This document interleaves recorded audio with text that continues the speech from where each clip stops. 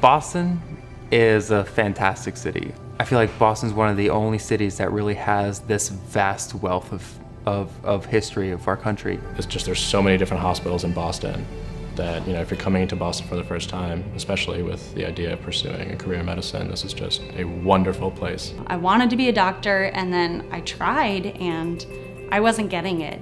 I could have done research, I could have worked, but I found this program. The MAMS program, it's a very well established program.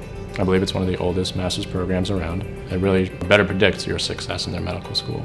I think it's a perfect complex of having your education and your medical and your research experiences all combined into one. And this is my last chance. I need to study, I need to focus, and I need to get into medical school.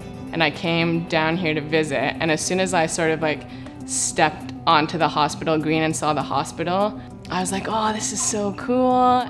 You see these attendings walking really fast back and forth between the buildings, and you see what you want to be doing, and that for me is very inspiring. Here we're taking physiology, histology, embryology, biochemistry, and all these classes that med students also take. You get to see what the life of a medical student is like. It gives you something to look forward to. Um, you know that you're just that close to getting into medical school. And it took some adjustment of my study skills, but I realized my work is paying off. Professors were really teaching to a very deep understanding of the material. It was really sort of exciting for me because I was kind of, I was sitting there understanding things and not just memorizing a bunch of slides. But now you're in this program and you need to excel. And so everyone's there to support each other. All the professors have open door policies. They're all uh, very welcoming to students and they love to answer questions.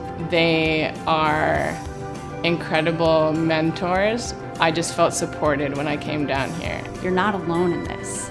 You've got other people going through this with you who find these courses difficult, and you're all going to figure this out together. Here I had uh, an advisor who only saw maybe 10 or 11 other people and was really, really invested in my time as well as my future.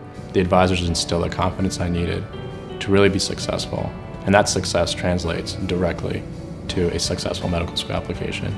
It's tough. It's not something that everyone can do, and I think that this program can get you to say, okay, I know I can do this, and give you that confidence to go into medical school knowing that you can excel in it.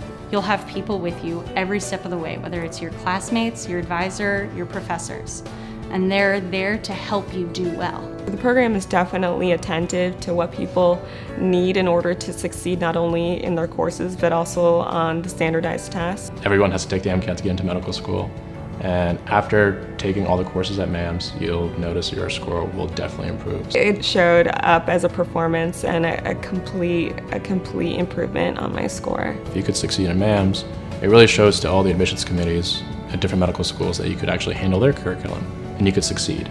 It really is an experience that will give you the foundation that you need. It's going to tailor you to become the best applicant that you can be. Most people come in wanting to go to medical school and most people leave and then go to medical schools. If you go through the MAMS program, you realize you can push yourself. You can get to the point where you can do anything. There's hope. There's light at the end of the tunnel. And before you know it, you're a first year medical student. The master's program was that next step, and without it, I wouldn't be where I am today and medical school.